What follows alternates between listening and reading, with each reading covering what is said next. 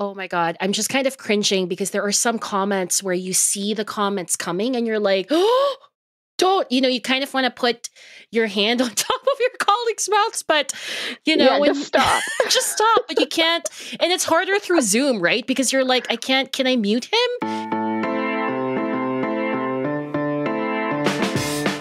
I'm Dr. Ethel Tungohan, an associate professor of politics at York University. This is Academic Aunties Welcome to the first episode of season three. I'm so happy to be back. One of our main agendas in this podcast is to demystify academia, shedding light into obscure and confusing norms. And so today, we jump right into academic job searches. We take a deep dive into what really happens behind the scenes. In theory, Applying for academic jobs seems fairly straightforward. You see the job ad, you put together your application package, you send your application in, and whoever is the most qualified gets the job.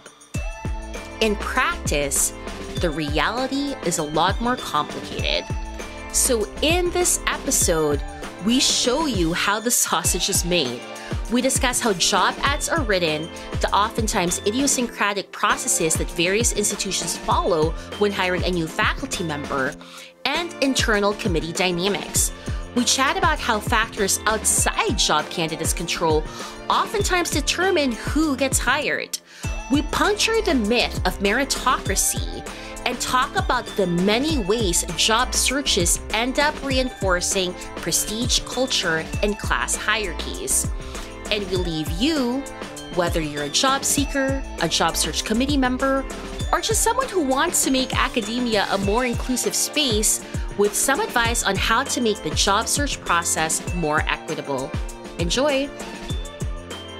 I am so thrilled to have two amazing aunties with us today. We are going to do a deep dive into the job search process.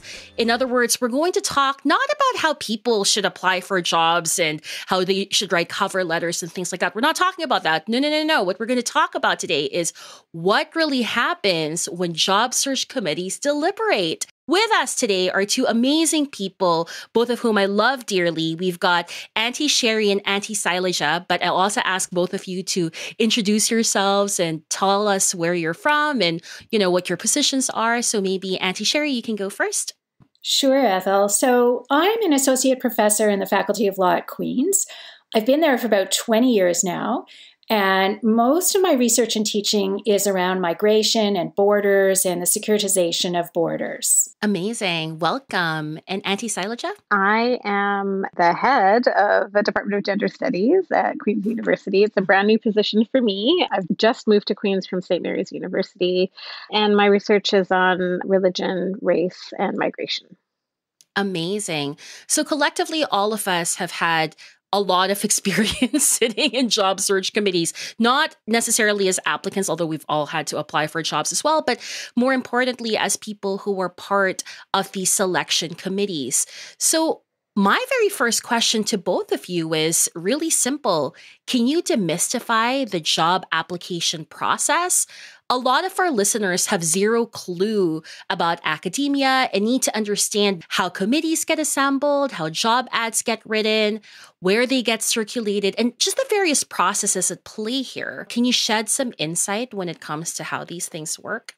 It starts with the job ad, and they often look like the kitchen sink certainly in my own discipline, law, they're full of a list of aspirational qualifications that the committee is seeking. It's kind of like able to leap tall buildings in a single bound or whatever. Um, and uh, it starts there. I work in an environment that is unionized. Mm. And so the formation of committees is actually very structured by the collective agreement. There are X number of faculty members who are appointed to the appointments committee for a given term, whether it's a two year term or a three year term at Queen's. And those committees are actually chaired, in the case of a faculty, by the dean, who actually has a lot of say uh, directly into the process and by the way, who often handpicks who they want on the committee, even though in theory the appointments committee is supposed to be elected by the bargaining unit. But in my own experience, very often the dean handpicked who they wanted on that committee and urged them to put their names forward. And very few people in my own faculty dare to offer an opponent. Yeah, I would I would agree. I think that putting the committee together, there's a lot that happens behind the scenes in terms of who's going to serve on the committee. You know, you mentioned the kitchen sink nature of some job postings and what goes into that even before before the ad even goes out that there's often some contention around what the field is going to be what the exact wording is who's going to who has to agree to it who's being replaced whether or not the dean will sign off on it and so sometimes the kitchen sink nature of the posting or the very narrow nature of the posting is due to a lot of complicated things that are happening in a department before you even send in your application. So it seems as though there's just a whole lot of different processes at play here, but it doesn't start when the job ad gets circulated. What you're both saying is that there's a lot of politicking that comes before yes. that. Is that a correct? Yes. You know, and trade offs too, right? What do you mean by trade offs?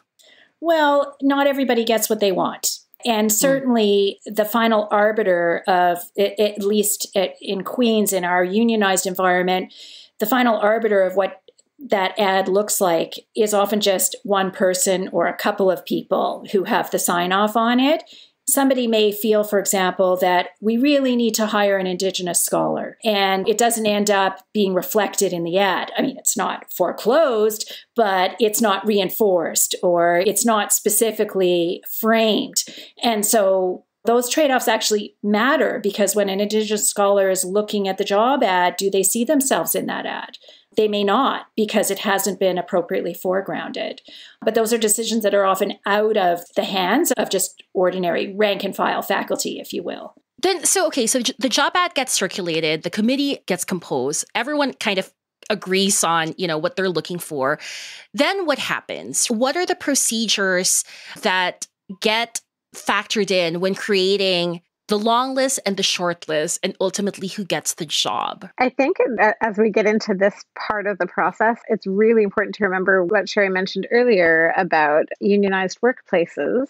Collective agreements, different institutions can have an impact on every part of the process from the posting the language in the ad to how the committee gets constituted to the process for decision making, the approval of the short list. And so every institution is different.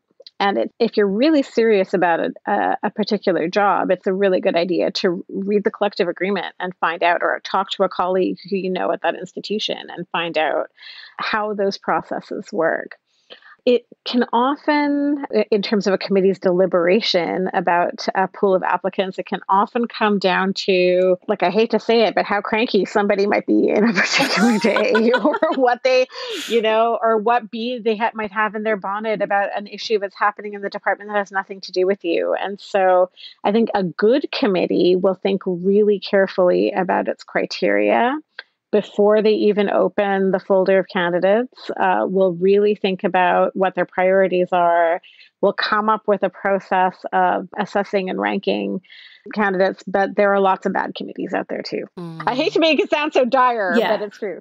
no, I think you're right. And I would say that often collective agreements are weak in relation to what it asks appointment committees to do up front. So comparing Queen's University to Windsor, I would say Windsor's upfront process is much stronger because it's mandated by their collective agreement. And their committees actually have to rank all applicants against set criteria. And mm. those scores have to be shared at a committee level. We don't do that mm. at Queen's right? Our hmm. equity process kicks in at the back end, if you will. The reporting is all about justify why you've chosen candidate X over candidate Y in equity terms. But that does nothing to get people through the front door. And I, I look at our collective agreement as weak in that regard. Now, of course, the collective agreement doesn't bind committees, it doesn't prevent them from doing more than what they say, But in reality, you know, very few deans or chairs of departments are going to want to take up that challenge and do more. And that's part of the problem. How the long list and the short list is created has a huge impact on the outcomes of these appointments processes. And I think, speaking from my own experience, we have a long way to go Auntie Sailaja, like you were saying, sometimes people have bees in their bonnets. It's not about the qualifications of the candidate, it's about X, Y, and Z, and we don't know what X, Y, and Z is, right? How do you know when a job search committee is working? And how do you know when it's failing? how do you know as a candidate or as a faculty member because you know as a candidate you may never know right what like what's happening behind the scenes and you probably shouldn't know i would say it's particularly for graduate students who have opportunities to serve on committees or to observe what's happening it's a really good idea to start watching before mm. you go on the market and seeing how these things work in your own department so you can get a sense of the flavor of those dynamics because there's a good chance that similar things are happening at other institutions. Mm-hmm. So mm-hmm. I'll I'll throw something into the mix here. You know, when I was on our own appointments committee for most of the positions we advertised, we received over 100 applications per position, often quite mm-hmm. a bit mm-hmm. more than that.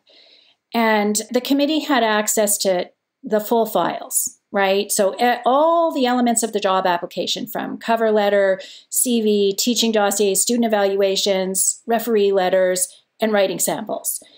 And how do you know when a committee is doing a good job when they've actually read the stuff? I think yes. a big problem is that committees get overwhelmed. That's mm. a hmm. lot of documentation. And are people actually reading this stuff or are they selectively cherry picking? I think they do a lot of cherry picking. I don't think they have time. And frankly, to be fair, most committee members aren't given the amount of time they need to do this work. I don't think we actually recognize the significance of the service contribution if you're really taking appointments seriously, and especially if you've got more than one hire at a time, which happened in our case. We went through a real dry spell, and then all of a sudden, we had three lines. And what this meant for the individual faculty members serving on this committee was a nightmare. I mean, can you imagine hundreds of files to review? But we were doing our job when we actually did review them. And it at least standardized an approach. So maybe you didn't look at everybody's teaching dossiers, but are we committed to ensuring that we've all read at least an element and the same element from every person's file? Because if we're not doing that, then the process becomes incredibly arbitrary. And I'm afraid I have to say that in most instances that I saw, this process was arbitrary, verging on egregiously unfair, really mm-hmm. fueling the processes of structural racism in the institution. One thing I've noticed too is that because people don't necessarily read all of, or nor do they have the time to read all of this, people use shortcuts. And sometimes these shortcuts lend themselves to bias, right? Like I've been in committees where depending on the strength i mean i'm using this with huge quotation marks right? Because i don't really, really believe that. Depending on the perceived strength or shall we say prestige of the phd granting institution those get a closer look. At least in some committees i've been in. In my current institution that's not as big of a case. In my previous institution at the university of toronto that was a case right? Where you know you do have candidates who have the prestige PhD, you look at it and you're like, yeah, but they have like one publication and that's co-authored as opposed to someone from a Canadian institution with really amazing publications, really great record, but they don't get a second look because they don't have that prestige PhD. Yeah, I would add to that having taught in a number of interdisciplinary type programs and departments that it's often, you know, what the degree is in, mm. right? So it's an Ivy League degree in a specific field. So even when there's a posting that says a PhD required in X area or related field that there are committee members looking for someone who's like them or does okay. their kind of research. And so they want something really, someone with a very specific kind of training. And so that can be a complication too. Mm-hmm. Absolutely. And, and I will say in my own discipline, law, institutional pedigree looms very large. And Canadian PhDs are, are frankly a liability at this stage. And for exactly the reasons and the dynamics you suggested, Ethel, you get really great candidates. And I can certainly speak to this experience when I was on our own committee. Really excellent candidates with strong doctoral degrees from Canadian universities and amazing records, not even getting shortlisted because they didn't have the right pedigree. And ultimately, that's classist in the worst kind of way because it's, you know, where you do your doctorate is often all about your family's wealth. And the, the other huge filter that I'll mention the presence of powerful referees, right? That's a filter mm. that I think is very misplaced. Mm-hmm. So, a powerful referee, somebody who's very highly esteemed in the particular subfield, writes a letter. It may even be a crappy letter that says nothing more than this person is the best thing since sliced bread. I mean, literally. And that matters. And I've seen letters by scholars without that stature and pedigree, but very detailed, careful letters explaining the accomplishments of the individual applicant be dismissed because they're not considered a big enough name. That's been really, really disturbing to see. And again, it's all wrapped up in this optic of pedigree that's deeply problematic and ultimately exclusionary. A hundred percent. And this is what's frustrating, right? Because I think what we're all hinting at is there's the job ad and there's kind of the set criteria outlined in the job ad. And that's fairly straightforward, but these other filters get factored in. And that leads to egregious equity concerns, which I think we can start talking about as well. What are some of the hidden ways where class, race, gender, and all of that get factored into the job search process that our listeners need to know about? So what what do you eat when you get taken out for lunch? Do you have the appropriate manners? Can you do small talk? You know, how well do you comport yourself at the at the reception if there's such a thing? Do you drink alcohol? Mm right? I mean there, there are there i've heard many different versions of that story right? You know where people who don't drink are judged for not participating in dinner and drinks situation with colleagues. I've also heard people who have heard of people who who were judged for ordering a glass of wine what? with dinner. Like there's really ridiculous things that become the unwritten, unrubriced ways that committees are assessing and judging you.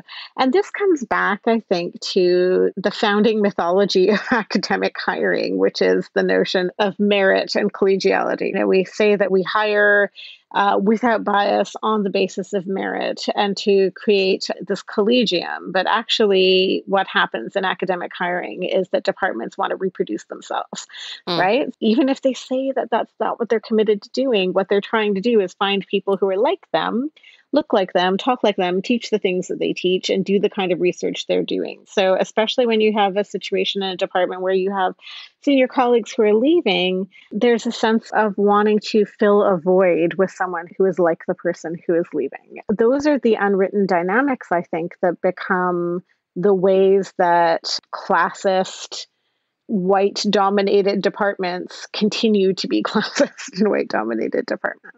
I 100% agree. The one other thing I'll throw into the mix is this idea of who you know. The network is very important. And I think there's actually an opportunity with networking to resist some of these dynamics. But speaking about the structural problems with hiring right now, I would say it's very important that committees can position you in their networks. They want to know that you know the important people that they know. And that becomes part of the small talk over dinner or over the reception or whatever, um, which can again be hugely alienating for BIPOC applicants and, and other folks, frankly, who come from different forms of positionality. I mean, speaking from my own experience, I wasn't a young, newly minted graduate student when I went on the job market. I was somebody who was kind of in mid career, having worked in the trenches and legal clinics for well over a decade. And so I entered the job market process myself as an outsider. And I didn't understand all this code. And it was a huge barrier in terms of navigating it. And I just replicate that times a hundred for others today from BIPOC backgrounds trying to break in to this very exclusive club. It's super hard.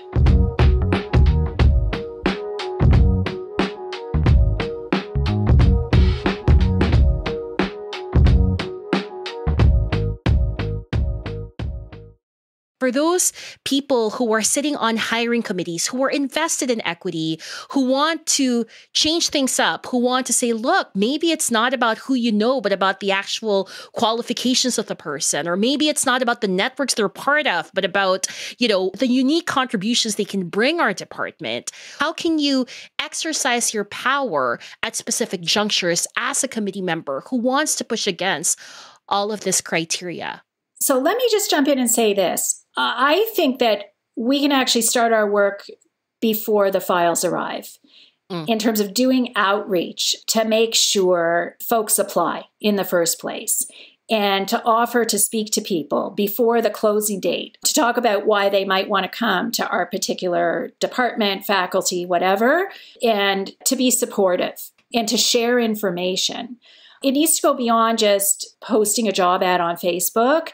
It needs to really be proactive because who applies is a big part of you know what happens it's obviously a lot of other dynamics filter in but that's something that i think we can all take up very seriously and then once they do apply making sure before we're silenced by this code i think most universities have a kind of um, requirement that once you're on a committee, it's a firewall. You can't talk about the committee's deliberations. You can't talk about the candidates. You're not supposed to share anything with anybody outside the committee.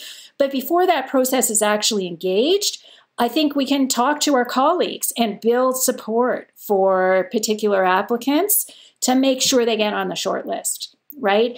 Because often advocacy for individual applicants has to go beyond the committee to the people who have a say in your department or faculty. There's a lot of lobbying that goes on behind the scenes. They do it all the time on behalf of their own their own people. We need to take that process back. So I guess that's what I'm saying. We need to lobby, we need to advocate. We can't just sit back and expect committed to equity as we are in a committee, we're going to be able to have a positive influence because one voice cannot carry the day. Yeah, I think that's that's a really important piece. If you're working in a framework where the department has a vote, members of the department can are part of the decision making process, absolutely advocating for candidates or talking candidates up among voting colleagues I think is really important. There are different models at different universities. The institution I just left at St. Mary's, the entire department gets a vote on recommending a candidate or accepting the report of the committee. And it's the entire department at 50 plus one of the total voting members. So that means that if someone decides not to vote or abstains, or doesn't show up or doesn't respond to the email, it counts as a no. So the advocating piece, right, like for the community, like that actually becomes quite important to really get colleagues on side. At other institutions, there is no such process. The committee is tasked with hiring someone and then it goes from the committee to the dean. So depending on what your role is as a committee member or as a department member, I think that that kind of advocacy is really important.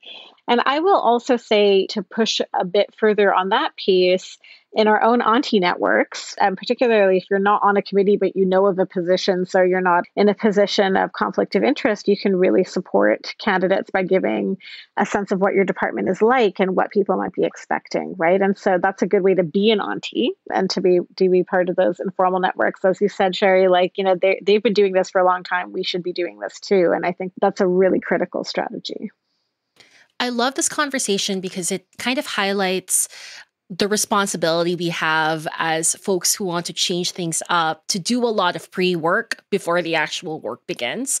That sitting on these committees is not just about doing the work within the committee, there's a lot of work that goes beyond it. And you're right. I love the way you talked about using your auntie networks. Certainly, I've done that too. I'm like, okay, if you're interested, I can talk to you, I can Zoom with you, we can talk about dynamics that you may not be aware of that can help you put your best foot forward, right? I think that's incredibly important. One question I have though is even if we've done all of that, even if we've marshaled our fantastic list of candidates, we're like, okay, these are really, really amazing people who the department would be lucky to have. Power usually fights back though, right? And then you have opaque criteria like fit kind of pushing back at you and other things that you're like, oh my gosh, I've done all of this work, but then the people with power keep fighting back. And now we're at a stalemate where, like, you know, it gets really difficult because then you see the committee completely fractured. And I guess this is one question that one of our fellow aunties, Nisha Nath, our producer for this podcast, asked as well, right? When do you know when to fight back? Like it's so fraught. And remember as well that some of the people you're fighting back against, they're your colleagues, right? You have to have a thick skin. I think mm. signing up for a tour of duty on an appointments committee requires a thick skin. I remember feeling very frustrated at times, drawing from my own experience, but you know, just keeping your eye on the prize and being prepared to be fearless. Because at the end of the day, especially for those of us that already have tenure, right? It's much harder if you're an untenured person on a committee. But if you're tenured, the truth is, you have nothing to lose. Some of these people may make your life a little difficult for a while, but you know, in the grand scheme of things, there's not much to lose. And it's important to remember that. And so maybe you'll be unpopular.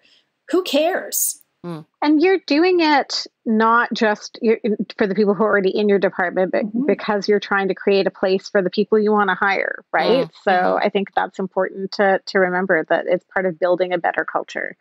So sometimes we have to have those arguments and fight those fights so that we are creating a space that the candidates that we want can come into and feel supported. And sometimes it is a fight. Absolutely. So we've been talking about, you know, how the sausage is made and maybe listeners who are looking for jobs are like, holy shit, there's a lot more at play here and maybe people are getting a little bit discouraged. So I wonder if both of you aunties have advice to people who are job seeking and are on the job market right now.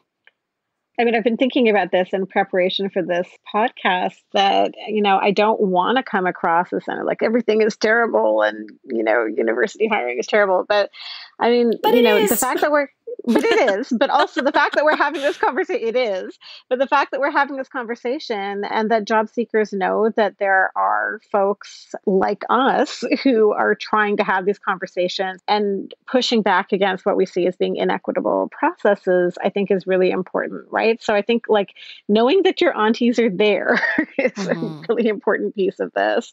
And seeking out for for job seekers, I would say seek out those mentors, right? Like I wouldn't do this for every job, and I know that there are job seekers who are applying for like 80 jobs a season. But for the jobs you really want at institutions where you feel like you might have an investment, reach out to someone in the department that you're looking at. Use your auntie networks, use your mentors networks to try to find contacts so you can get to know a little bit more about that space. I know I've done that for lots of potential candidates, and I think that's a really important piece of the puzzle, right? To get to know the institution a bit first and to get a sense of what you want to put into your application and to know what's happening a little bit behind the scenes if you can. And then I would also say be prepared. Like you can have the most spectacular application. You can sail through a job process. You might even be the number one candidate. And there could be something stupid that happens, something structural that happens. It could be a university committee, it could be a dean, it could be one cranky person in a department who holds up a vote, right? I mean, depending on the particular processes, that can mean the difference between you getting an offer and you not getting an offer, right? So I think it's really important to remember that in the final analysis, it's not about you, mm. right? You are awesome and universities kind of suck. Auntie Sharry, any advice? Yes, well, I would say ditto to all of that. And um, maybe just offer two further things in terms of using that auntie network, don't worry if you don't know those people directly. It's totally okay to cold call an auntie, and in fact, can be quite useful, right? So you look at a department and you say, "Hmm, I don't know these folks," right? You you pick somebody who looks like they would, you know, share your interests and reach out. 9 times out of 10 that person is going to be responsive. And it's super helpful to get some intelligence, quote unquote, before you even submit that application. So that's number one. Think carefully about who your referees are because they matter so much. I rail against their importance. I think they have an overinflated role in the hiring process in many cases, but they are important. Think carefully about it and get feedback about it. And maybe the other thing is the job talk, at least in my discipline, actually matters quite a bit, especially for people who haven't read the files, which is, mm. you know, pretty much most of everybody except for the appointments committee. At Queen's, in our faculty, students actually have a very big vote. They have a very big say. Their views carry a lot of weight, but they haven't read any of the writing. They see the job talk. And so, preparing a job talk well and making sure that you leave enough time to shine in a conversation after the formal presentation is really important. I think if I've seen a mistake that a number of people make is over preparing the formal presentation, having it go too long, and running out of time so that you don't get to shine in that more engaging back and forth. So, those are just a couple of things I've observed along the way. So, final question because this is academic aunties and we do want to create, uh, you know, subversives who are listening. Do you have suggestions for how we can shift practices to make job searches more equitable? I'm just going to put my union hat on for a second. Outside of mm-hmm. specific processes of hiring, I think one of the most important things we can do within institutions is work with our unions and work mm. to push our employers to have better and more robust employment equity policies and mm-hmm. initiatives. And by robust, I mean not just that the language is really great, but that the processes are really great. I think Sharry began by talking about the difference between what happens at Queen's and what happens at the University of Windsor, right? This is an example. At St. Mary's, where I just left, our collective agreement didn't say anything beyond merit so we had no employment equity language in our collective agreement that could help us to push the institution further.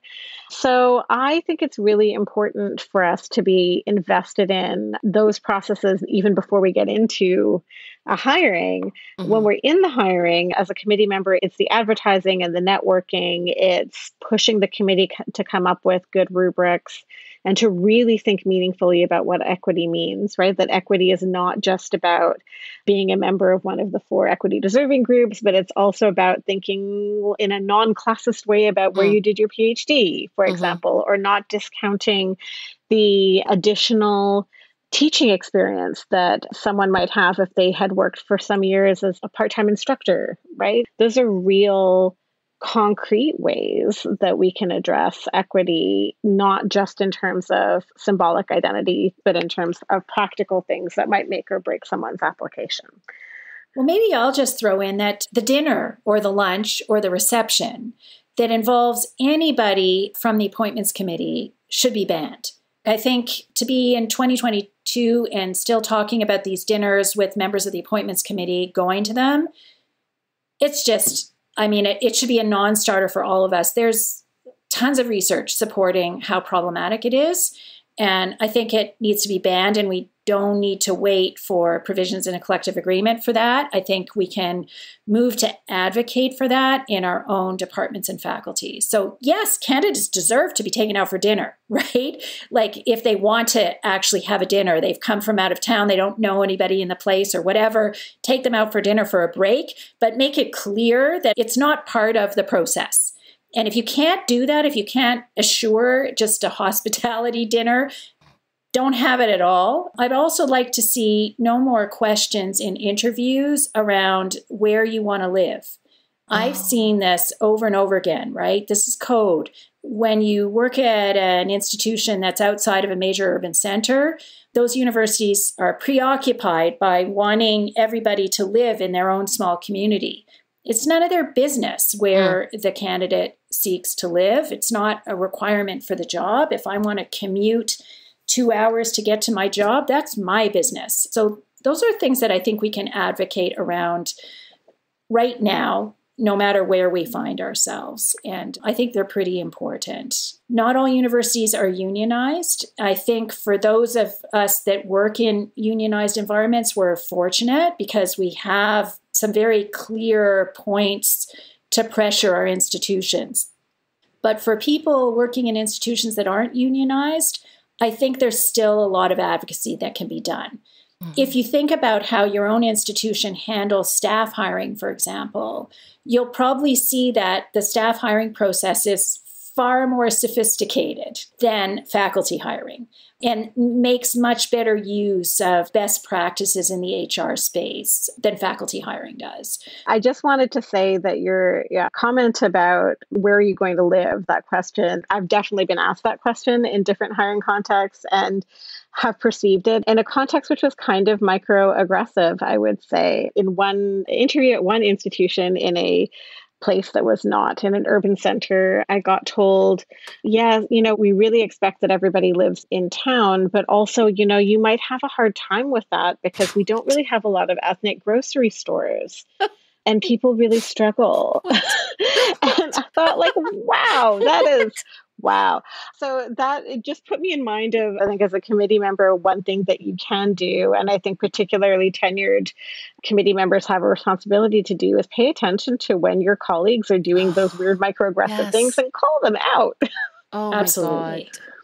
Oh my God. I'm just kind of cringing because there are some comments where you see the comments coming and you're like, oh, don't you know you kind of want to put your hand on top of colleagues' mouths, but you know, yeah, when, just stop, just stop. But you can't, and it's harder through Zoom, right? Because you're like, I can't. Can I mute him? Can I mute him? So yeah, because they're saying yeah, it, we can jump like, in and not... say, yeah, you don't have to answer that question, by the way. like I've said that. I know. I know. And you can say it and you're just like, oh my God. And you're just, anyway, yes, a lot of these comments as a committee member, you can just be like, yeah, you don't, you can intervene too. You can be like, you know what, let's, you don't have to answer that question. Yeah.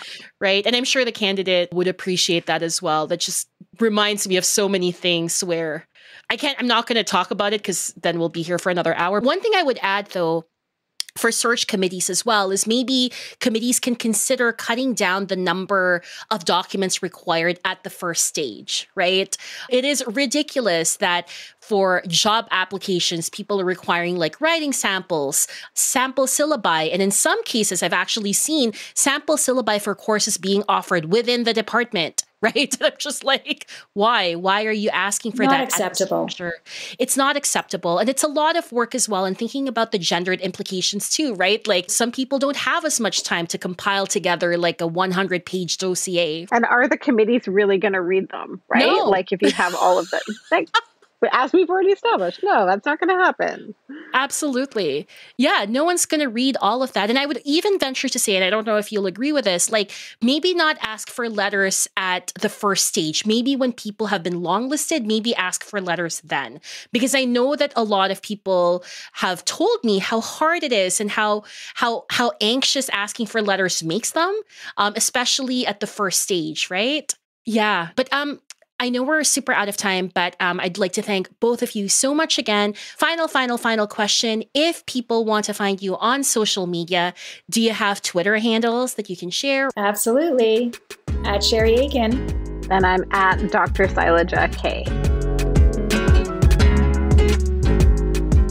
For those of you immersed in job application season right now, let me say that I feel for you. If there's one takeaway from my conversation with Auntie Sharry and Auntie Sailaja, it's that this whole process sucks. It's excruciating, it's intensely stressful, it's dehumanizing. I get asked so many times by listeners Is it me? What's wrong with my CV? And while there are things that you can maybe change about your file, so much of this is structural. I've seen searches where the best candidate didn't get the job, where the best candidate didn't even get shortlisted. Instead, committees were dazzled by the star power of the letter writers the candidate has, or the fact that this candidate seemed to have good pedigree, said with huge quotation marks. Class, race, and gender biases are clearly at play here. As we always say in academic aunties, it's not you, it's the academy. But our aunties also raise a good point. Job seekers, you can also try as much as possible to strengthen your networks, your auntie networks, and find out information that you can use to your advantage in your job search. What is this institution really like? Who determines which candidate gets hired? Does the department vote? Or is it just members of the search committee? I also think creating strong networks makes life in the academy more sustainable. These networks can help you find collaborators, find friends, and possibly even give you a heads up for when job opportunities emerge and support you when you're applying for that job. And for those of you who were part of hiring committees, remember that you can push for change. I think it is critically important that we fight back and try to make hiring processes work for us and for our communities. The Feminist Critical Hindu Studies Collective, of which Auntie Sailaja is a part, recently published an article on Auntylectuals that we link to in the show notes. They talk about establishing communities of care to destabilize dominant power structures in the academy. Ask yourself and your fellow committee members are there different ways of doing the search to ensure greater equity? Just because academic hiring has always been done one way doesn't mean that you have to continue following the same path. And that's Academic Aunties. We have a fun season planned for all of you. If you like what you're hearing, we'd love it if you could spread the word and introduce the podcast to someone you know. Follow us on Twitter at, at Academic Auntie and find out other ways to support the podcast at academicaunties.com slash support, including providing us with feedback, purchasing some academic auntie swag, and becoming a Patreon supporter, which goes right into the production of this podcast. Shout out to our latest Patreon, S. McMenemy, for your support. Thank you so, so much. Today's episode of Academic Aunties was hosted by me, Dr. Ethel Tungohan, and produced by myself, Wayne Chu, and Dr. Nisha Nath. Tune in next time when we talk to more academic aunties. Until then, take care, be kind to yourself, and don't be an asshole.